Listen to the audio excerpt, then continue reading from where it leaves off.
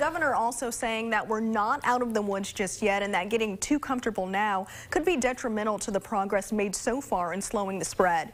Today, Governor Andy Beshear announcing 3,800 new COVID cases and 29 deaths reported statewide today, while more than 2,000 Kentuckians are currently battling COVID in the hospital.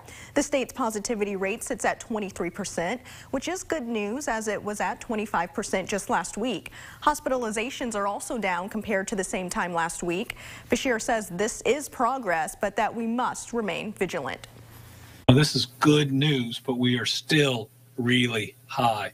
Um, and and people should be concerned that if enough people don't get vaccinated, we may see another thing like Omicron again. We don't know that which one of these will create enough natural immunity for those that haven't gotten vaccinated for us to get where we want to get.